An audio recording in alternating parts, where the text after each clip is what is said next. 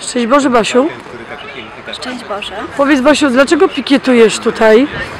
Pikietuję tutaj, żeby, żeby zostały u nas wartości katolickie, żeby była religia też żeby zostawiono Radio Marię, jak również na platformie e, było miejsce dla telewizji Trwam. E, Są to media katolickie, które w tej chwili bardzo są jakieś pomijane, powiedziałabym, w naszym życiu. Jakby nie było, to Polska zawsze była i jest krajem katolickim. Dziękuję.